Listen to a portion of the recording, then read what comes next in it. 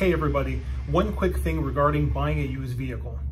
Now I know it can seem like a bit of a gamble, but it really isn't and it doesn't have to be thanks to used vehicle service contracts. Now the coverage and costs will vary based on the vehicle you are purchasing, so if you have any questions you should ask the member of the finance department you're working with when you buy your next vehicle.